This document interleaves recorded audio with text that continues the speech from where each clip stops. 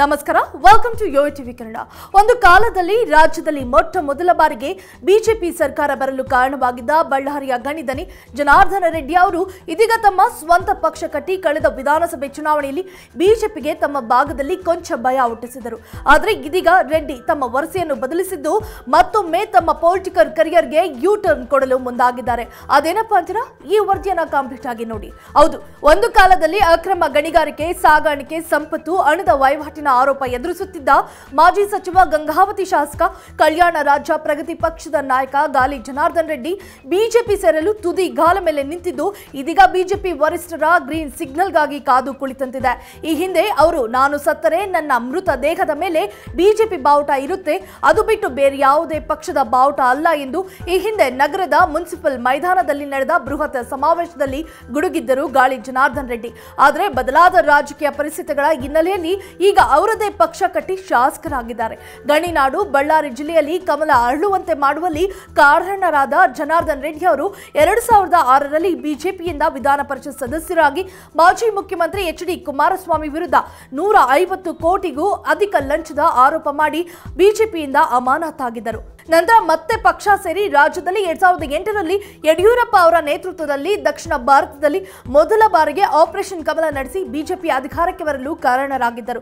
ಜೊತೆಗೆ ಸ್ವತಃ ಸಹೋದರ ಕರುಣಾಕರ್ ರೆಡ್ಡಿ ಶ್ರೀರಾಮುಲು ಸಚಿವರಾದರು. ಸೋಮಶೇಖರ್ ರೆಡ್ಡಿ ಅವರನ್ನು ಶಾಸಕರನ್ನಾಗಿ ಕೆಎಂಎಫ್ ಅಧ್ಯಕ್ಷರನ್ನಾಗಿ ಮಾಡಿದ್ದಲ್ಲದೆ ಜಿಲ್ಲೆಯ ಸಂಡೂರನ್ನು ಹೊರತುಪಡಿಸಿ ಎಲ್ಲಾ ಕ್ಷೇತ್ರಗಳಲ್ಲಿ ಕಮಲದ ಹೂ ಅರಳಿಸಿದ್ದರು. ಬಳ್ಳಾರಿಯೇ ಅಂದು ರಾಜ್ಯದ ಶಕ್ತಿ ಕೇಂದ್ರ ಆಗಿತ್ತು. ಅಕ್ರಮ ಗಣಿಗಾರಿಕೆ, ಸಾಗಾಣಿಕೆ ಆರೋಪದ ಬಗ್ಗೆ ಕಾಂಗ್ರೆಸ್ನ ಪಾದಯಾತ್ರೆ ನ್ಯಾಯಮೂರ್ತಿ ಸಂತೋಷ್ ಹೆಗಡೆ ಅವರು ನೀಡಿದ ಅಕ್ರಮ ಗಣಿಗಾರಿಕೆ ಆರೋಪದ ವರದಿಯಿಂದ ಅಧಿಕಾರ ಹೋಯಿತು ಜೊತೆಗೆ ಎರಡ್ ಸಾವಿರದ ಹನ್ನೊಂದರ ಸೆಪ್ಟೆಂಬರ್ ಐದರಂದು ಸಿಬಿಐನಿಂದ ಬಂಧಿತರಾಗಿ ಐದು ವರ್ಷಗಳ ಕಾಲ ಜೈಲು ವಾಸ ಅನುಭವಿಸಿ ಮತ್ತೆ ಬಿಜೆಪಿ ಸೇರಲು ಪ್ರಯತ್ನಿಸಿದ್ದರು. ಇದಕ್ಕೆ ರಾಜ್ಯದಲ್ಲೂ ಕೂಡ ವಿರೋಧ ಕಂಡು ಬರಲಿಲ್ಲ ಆದರೆ ಬಿಜೆಪಿ ವರಿಷ್ಠರಲ್ಲಿ ಒಬ್ಬರಾಗಿರುವ ಅಮಿತ್ ಶಾ ಅವರು ಎರಡ್ ಸಾವಿರದ ಹದಿನೆಂಟರಲ್ಲಿ ಮೈಸೂರಿನಲ್ಲಿ ಜನಾರ್ದನ್ ರೆಡ್ಡಿ ಬಿಜೆಪಿಗೆ ಬರುವ ಬಗ್ಗೆ ಕೇಳಿದ್ದಕ್ಕೆ ಅವರಿಗೂ ನಮಗೂ ಸಂಬಂಧ ಇಲ್ಲ ಎಂದಿದ್ದರು. ಎರಡ್ ಸಾವಿರದ ಇಪ್ಪತ್ತ್ ಮೂರರ ವಿಧಾನಸಭೆ ಚುನಾವಣೆಯ ಮುನ್ನ ಸಂಡೂರಿನಲ್ಲಿ ನಡೆದ ಆಂತರಿಕ ಸಭೆಯಲ್ಲಿ ಜನಾರ್ದನ ರೆಡ್ಡಿ ಅವರನ್ನು ಪಕ್ಷಕ್ಕೆ ಸೇರಿಸಿಕೊಳ್ಳುವ ಪ್ರಸ್ತಾವನೆ ಬಗ್ಗೆ ಆ ಮಾತು ಇಲ್ಲಿ ಬೇಕಿಲ್ಲ ಎಂದಿದ್ದರಂತೆ. ಅದಕ್ಕಾಗಿ ರೆಡ್ಡಿ, ಕೆಆರ್ಪಿ ಪಕ್ಷ ಕಟ್ಟಿ ಬಳ್ಳಾರಿ ಜಿಲ್ಲೆಯಲ್ಲಿ ಕಳೆದ ವಿಧಾನಸಭೆ ಚುನಾವಣೆಯಲ್ಲಿ ಬಿಜೆಪಿಗೆ ನೆಲೆ ಇಲ್ಲದಂತೆ ಮಾಡುವ ಪ್ರಯತ್ನದಲ್ಲಿ ಯಶಸ್ಸು ಕಂಡಿದ್ದಾರೆ.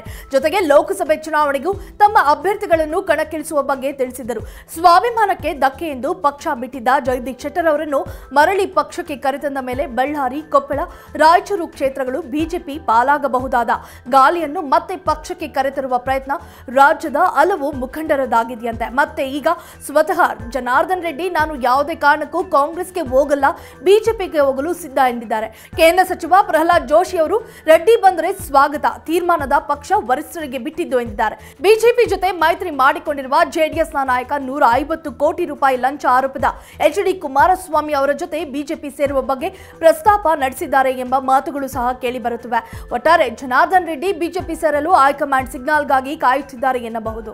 If you like this video ಬೇಗ ಲೈಕ್ ಮಾಡಿ ಕಾಮೆಂಟ್ ಮಾಡಿ ಶೇರ್ ಮಾಡಿ ಹಾಗೂ ಯೋಯೋ ಟಿವಿ ಕನ್ನಡವನ್ನು ಸಬ್ಸ್ಕ್ರೈಬ್ ಮಾಡಿ.